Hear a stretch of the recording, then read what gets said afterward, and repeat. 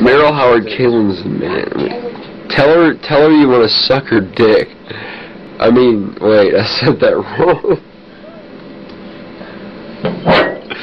God damn it. Is any of your bitches online other than her? Oh. Dude, you got the fop? I don't want fop. God damn it, I'm a Dapper Dan man. Uh, Dapper Dan's like, wow. Dude. Who's this fucker? I hate him. Hey, um, but what do you call him? He's a stupid fucker. I hate him. You called him a faggot. You oh, you messaged me. Why? That's cruel.